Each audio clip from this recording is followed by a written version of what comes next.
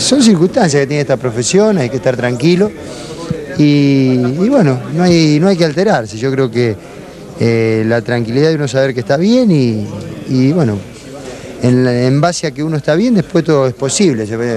Eh, hay decisiones que uno no puede hacer nada para cambiar, ¿no? Ese punto. Una vez comentaba que me fui de River cuando eh, decían que tenía sida, que tenía cáncer, me costó el exilio del país porque me tuve que ir un año.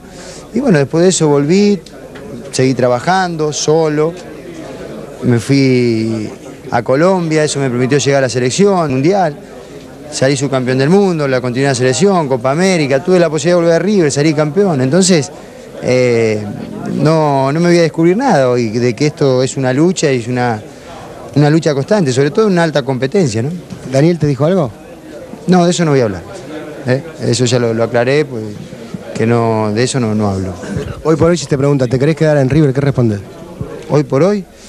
Y no sé, viste, es difícil responder porque eh, cuando uno maneja sentimientos raros, a veces hablar con la razón y, y a veces uno contenta con el corazón, ¿no? Eh, yo creo que no, es preferible dejar pasar el tiempo y bueno, después el, el tiempo dirá si me quedo o no en River.